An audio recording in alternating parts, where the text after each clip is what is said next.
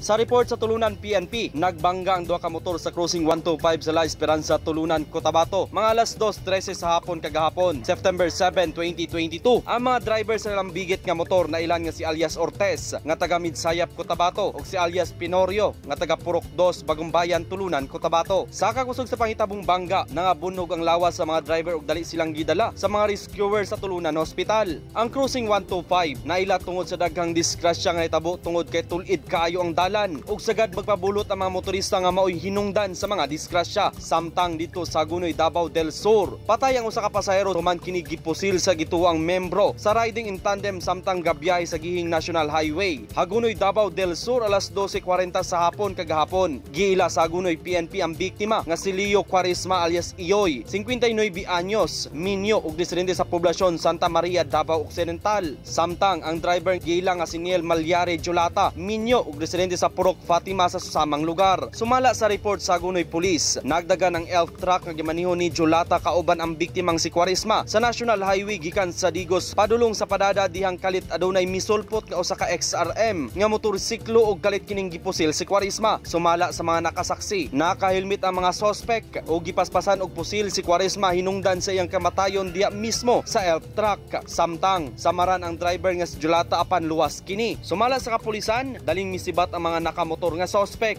Marvin Revilla, Newsline Philippines, Province of North Cotabato. Stay safe.